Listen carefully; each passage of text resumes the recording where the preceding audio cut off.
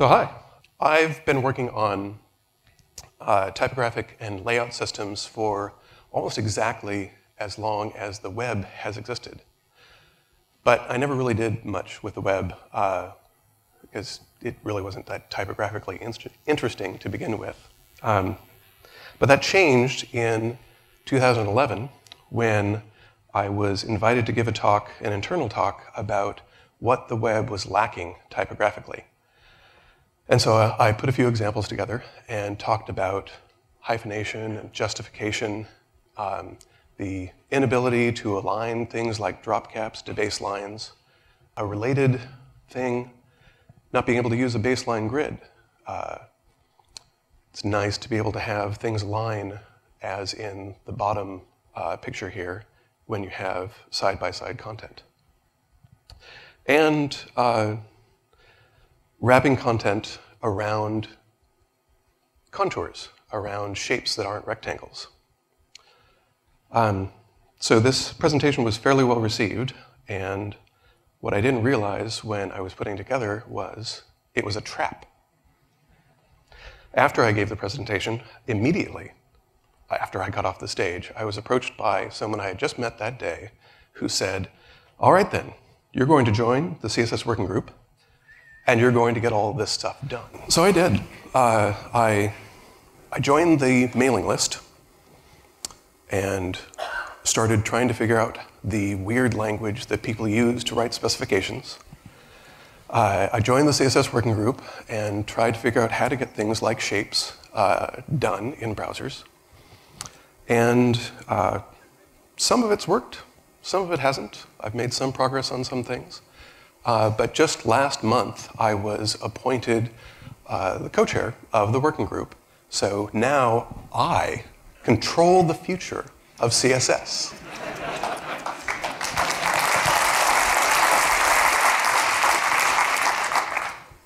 Actually, it means that I'm the guy that makes sure that somebody's taking notes when we meet, and when we discuss things that everybody's voices get a chance to be heard. And what I want to do is make sure that when we talk about everybody's voices are heard, it's everybody. It's everybody using CSS and the web. It's all of you people out here. So I'm here today to ask for your help in figuring out what the future of CSS should be and what we should prioritize on. And I have uh, three things that I'm going to talk about that you can do to help us out. You don't all have to follow my path. You don't have to join the CSS working group. You don't even have to join the fire hose of www style. Um, the first thing is just to write, speak, and share about what it is that you're working on. All of you use CSS. All of you have problems that you run across. All of you have solutions that you've come up with for the problems that you found. Um, when I first started looking at typography on the web, uh, web fonts were just becoming a thing. And so people were downloading web fonts, putting them on their pages, using them in headlines, and they didn't include the bold version of the font. So the browser would go and smear the glyphs around and make it look kind of bolder. Or if it was a fake italic, they'd slant the glyphs over. And to my eye, this just ruined everything. And so I'd find pages like this. One of them was uh, the Bootstrap homepage. And I'd go find the contact information for that site and message the people saying, hey, your site looks terrible take a look at it in Firefox. Here's how you can fix it. You, know, you can either download the bold, you can either put the bold font onto the page as well, or if the web font doesn't have a bold face and you want to use it in a headline, here's a fix for uh, this particular problem. This worked pretty well for the sites that I had visited, and I could find some contact information for. The Bootstrap people fixed it right away. Uh, some other sites fixed things, but it didn't. This solution for fixing problems on the web didn't really scale all that well. So uh, I wrote an article and had it published on the list apart saying, you know, here's a problem, here's the solution that I found for it. And this worked a lot better. Uh, got a lot more reach, got a lot more people fixing these problems, and I saw fewer of these sites. Um, but one thing happened that I didn't expect. One of the first comments on my article was someone who had written a very similar article and who had come up with a different solution that was better than mine. So just the fact of my writing up the problem, writing up my solution, I was gifted a better solution to uh, the problem that had been vexing me. And I hear this all the time with people who have written articles, who have stood up on stage. Um, there's value in organizing your thoughts and presenting it to people, but the connections that you make by doing so are, the, are even more valuable than getting the word out. And Rachel Andrew has uh, an article uh, she just published on A List Apart yesterday that talks about some of the value of this. Um, what she didn't say is that her writing articles about grid over the past few years has improved the specification work for grid immensely. The first module level of grid layout is going to be immensely better because Rachel has been experimenting with it, writing about her findings, and the people writing the specification have found that immensely useful. But it doesn't have to be as public as a blog post or getting up on stage. Um, there, we've actually, in the CSS working group, have taken input from Twitter conversations. Uh, any way that you find to share what it is that you're doing is going to help us. It gives us more to work with, more ideas about what to prioritize, what problems people are actually having. Um, so get the word out about what it is that you're doing, and it will help me. But there's also, if you have a future idea, uh, there's a, a, board called discourse.wicg.io that's been set up for the W3C where you don't have to join the mailing lists, you don't have to figure out the right venue for your idea. If you just have an idea for the future of the web, you can go there, search to see if anybody has a similar idea, and if not, post it and people with all with connections to all sorts of uh, specifications on web technology will uh, give your idea a chance, let you know why it's terrible, or find a way of getting it through the specification process. So the second thing that you can do to help us out is to shout when things go wrong. If you find a browser incompatibility, write a bug for the browser that's doing it wrong. It's the only way they will learn. Um, and the best way to write a bug for a browser is to give them a W3C style test for it.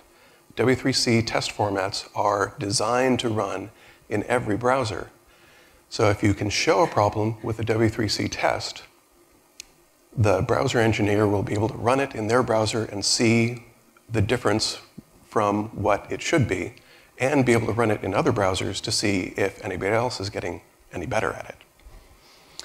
Um, we used to run a series of events called Test the Web Forward, where we would show people how to write these W3C tests and how to write bugs in browsers. We don't run them anymore because they were pretty expensive to put together.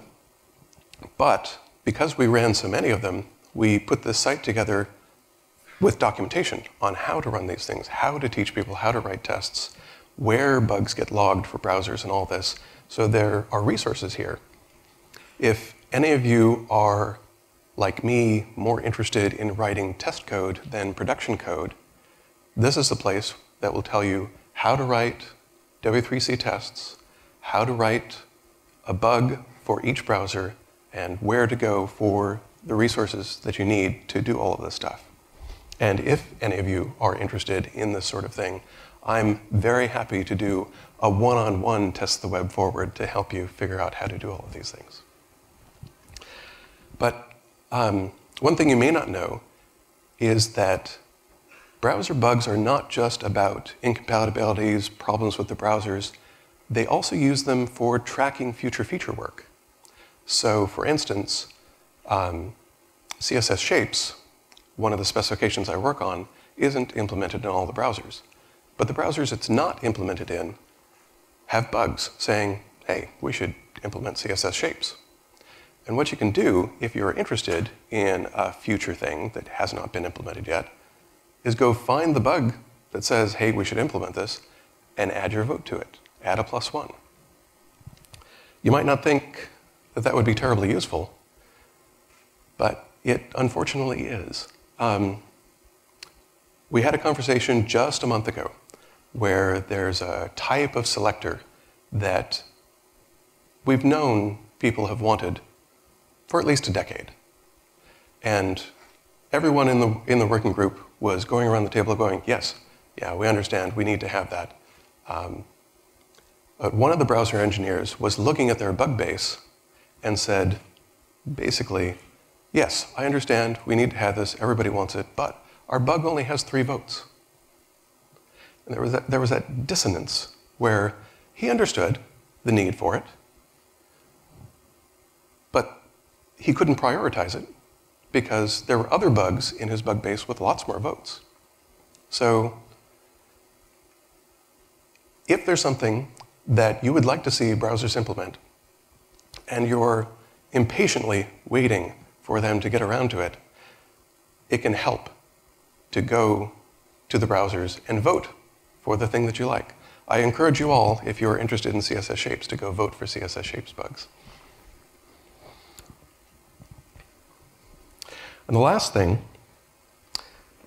is that you can help us explain the magic of CSS. I understand that at least half of you here are uh, very interested in JavaScript, maybe even do more JavaScript work than CSS. Um, we have a task force now called Houdini that is about escaping the magic of CSS. Houdini was a magician who escaped out of boxes, but he was also a debunker of magicians. So, psychics or magicians who said that what they were doing was real. He would go and pull back the curtain and show what the trick was. In CSS, there's a lot of behind the curtain magic. You have styles and markup that go in, and you have layouts that come out, and there's a black box in the middle that you don't get access to. What we are trying to do in Houdini is open up that black box, make it so that you can replace or enhance what's some of the machinery in that black box with JavaScript. I've been involved in a number of uh, polyfills for future features like CSS shapes, where we've tried to make it so that you can code for the new browser and still have the feature work in older browsers that don't implement it. And we found that it's just way too hard. Um, there's all this machinery that you have to duplicate. You basically have to write a CSS parser of your own in JavaScript that has to run at all the different places that CSS, the CSS parser in the browser is running. And that's something that you can approximate, but not really do in a rigorous way. Um, and it's all stuff that the browser is doing already anyway. There should just be hooks to say, well, if you're going to parse your CSS, I want to know about this and that and the other thing. So the Houdini task force is working on uh, CSS parsing, uh, coming up with a typed object model so that if you have JavaScript that is dealing with styles, you don't have to serialize and deserialize all these string values. You just get the value itself. Um, there, there was a there was a Chrome uh, polyfill that they were trying to create, and they did a little bit of measurement, and they found that the polyfill was spending 20% of its time just dealing with string values in the CSS. Um, eventually, Houdini is going to get to the box model, where you can find the boxes that your elements and style are creating on the display tree, um, and get to things like custom paint, so that if you want to have something going on in your background that is programmatically generated, you have a way of hooking up your JavaScript to the display code and have your JavaScript do the drawing for you. And all of this is not to replace styles with JavaScript. It's to allow experimentation so that instead of waiting for a browser to implement a new feature, we can give people the hooks to implement a new feature in JavaScript and see whether it takes off.